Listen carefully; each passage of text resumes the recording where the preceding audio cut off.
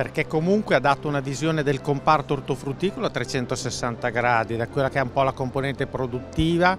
fino alla, eh, alla commercializzazione, quindi tut, tutta, la filiera, tutta la filiera con dei passaggi che anche interessanti, che hanno visto un approfondimento sul tema delle acque, degli, sul tema degli agrofarmaci, dei biostimolanti, il tema dell'internazionalizzazione, quindi tutte tematiche che a tutto tondo riguardano la produzione ortofrutticola e quindi la competitività di questo comparto. L'attenzione all'ambiente l'attenzione a tutta una serie di problematiche che non riguardano solo la componente commerciale ma anche eh, la componente diciamo, più sociale, di sostenibilità che, non, che, deve riguardare non solo la redditività dell'azienda agricola eh, ma anche eh, il cittadino, il, eh, il, consumato, il consumatore che deve essere visto non solo come consumatore della nostra frutta ma come colui che apprezza l'impegno che il, il frutticoltore fa quotidianamente per la salvaguardia, salvaguardia dell'ambiente.